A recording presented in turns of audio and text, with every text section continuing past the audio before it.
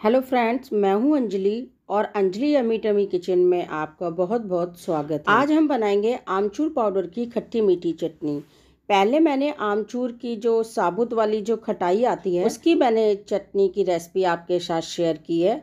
अगर आप उसकी रेसिपी देखना चाहते हैं तो मैं उसका लिंक डिस्क्रिप्शन बॉक्स में दे दूँगी तो आप उसको चेक कर सकते हैं। आमचूर की चटनी आप समोसा कचौड़ी पकौड़ा। टिक्की या किसी भी चाट के साथ आप इसको इंजॉय कर सकते हैं। तो चलिए फिर हम रेसिपी स्टार्ट करते हैं।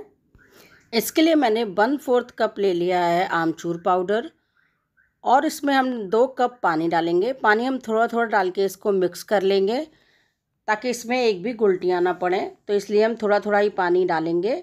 ताकि ये अच्छे से मिक्स होता जाए। अगर आपको चटनी थोड़ा गाढ़ी रखनी है तो आप इससे कम पानी कर सकते हैं और अगर आपको इस चटनी को थोड़ा पतला रखना है तो आप इसको पानी की मात्रा को बढ़ा भी सकते हैं। क्योंकि ये चटनी को हमें काफ़ी देर तक पकाना है तो इसलिए हमें इसमें ज़्यादा ही पानी डालेंगे। तो one fourth cup amchur powder के लिए मैंने दो कप पानी का इस्तेमाल किया है।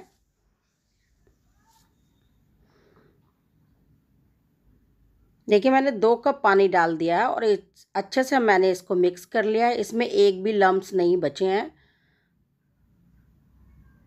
इस मेथड को हमें गैस ऑन करने से पहले ही करना है। उसके बाद हम गैस ऑन करेंगे और उसमें हम अपनी इस चटनी को हम रख देंगे और उसमें हम एक बॉयल आने देंगे। जब हमारी चटनी में बॉयल आ जाएगा, तब हम इसमें कुछ मसाले डालेंगे।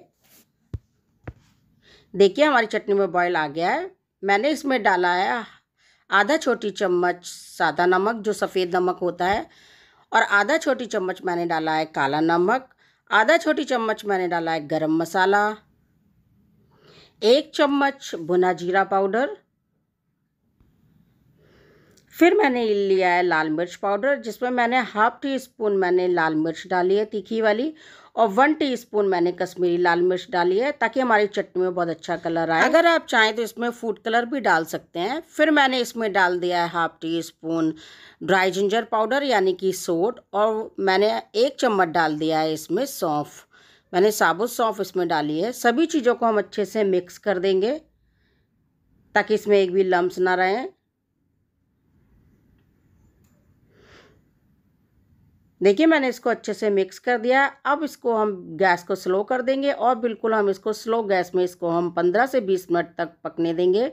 हम अपनी चटनी को जितना ज़्यादा पकाएँगे, उतना ही अच्छी हमारी चटनी का टेस्ट आएगा सौंदा सौंदा सा। फिर मैंने इसमें एक कप भर के डाल दिया है चीनी। आप चाहें तो इसके जगह गुड़ भी इस्तेमाल कर सकते हैं। मैंने वन फोर्थ कप आमचूर का पाउडर लिया था, उसके साथ मैंने एक कप चीनी का इस्तेमाल किया है। फिर हम इसको धीमी धीमी गैस पे हम इसको पकने देंगे धीरे धीरे ताकि हमारे चटनी बहुत ही अच्छी सी खुशबू इसमें आ जाए और इसमें एक सौंधा सौंधा सा टेस्ट आ जाए। देखिए, फिर जब ये पंद्रह बीस मिनट तक हमारी चटनी पक जाएगी, तब हमने इसमें डाले हैं मस्क मैरन सीड, यानी कि जिसे हम मगज कहते हैं, खरबूजे के बीज, उसको हम डाल देंगे और इसको हम तीन चार मिनट तक और पकने देंगे। फ्रेंड्स, ये चटनी बहुत ही जल्दी बन के तैयार हो जाती है और बहुत ही टेस्टी बन के तैयार होती है।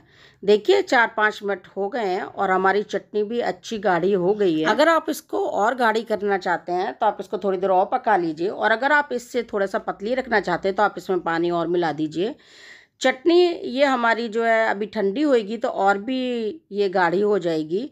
इसलिए हम गैस बंद कर देंगे और इसको हम ठंडा होने देंगे। जब ये ठंडी हो जाएगी तो इसको हम किसी भी एक कांच के जार में भर के रख लेंगे और इसको आप फ्रिज में रख के आप दो तीन महीने तक आप इसको यूज़ कर सकते हैं। ये बिल्कुल भी ख़राब नहीं होगी। जब भी आपका चाट खाने का मन हो तब ये चटनी यूज़ कर सकते हैं। अगर आपको ये वीडियो अच्छा लगा हो, मेरी मेहनत अगर आपको पसंद आई हो तो इसको लाइक करें और मेरे चैनल को सब्सक्राइब करें।